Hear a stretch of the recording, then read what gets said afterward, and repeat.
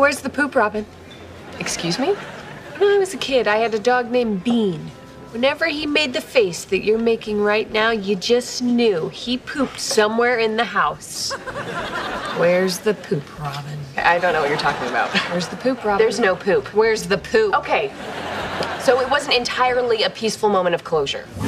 Hey, Don, here's some breaking news. There's a zit breaking out on your forehead. Finished with that. Look, I'm not proud. But Don left so quickly that I never got the chance to have that final showdown. So yelling at him, even on TV, felt kind of good. And you know what? Now I truly am over him. That's great. Thank you. Good on you. Where's the poop, Robin? Damn it! Okay, in the process of truly getting over him, I may have called him and left an indelicate voicemail. I am gonna kill you.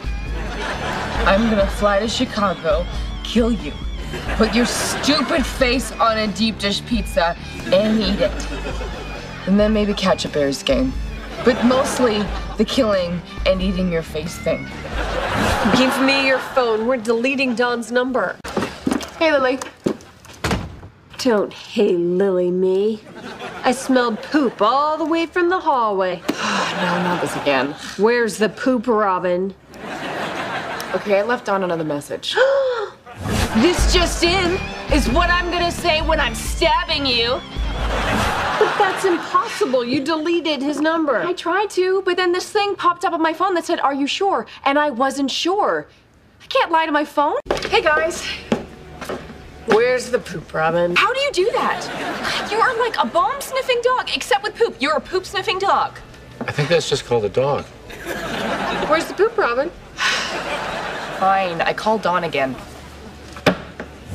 Hey Don, it's Robin again. Uh, look, I am sorry for all the calls. It's just I saw you on the news and it made me a little crazy for a minute.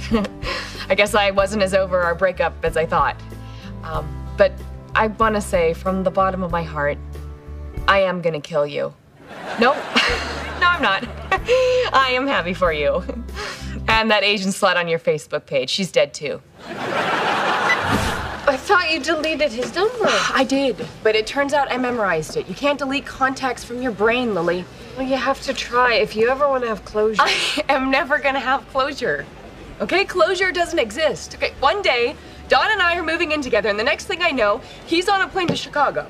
It just ended.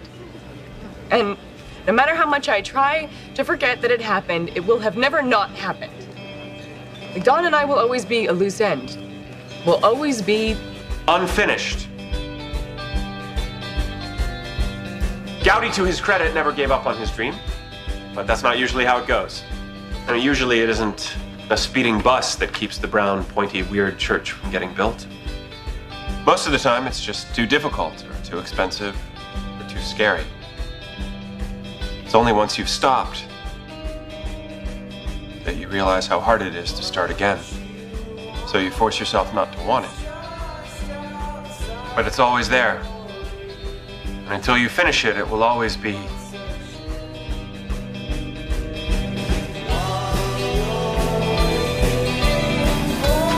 And now, the 11 o'clock news with Don Frank. Bueno, Who is this? no hablo inglés. ¿Quién es? I'm sorry, is this 917456? I'm sorry, uh, 465. No, wait. Huh. Robin finally got some closure too. Sorry, wrong number.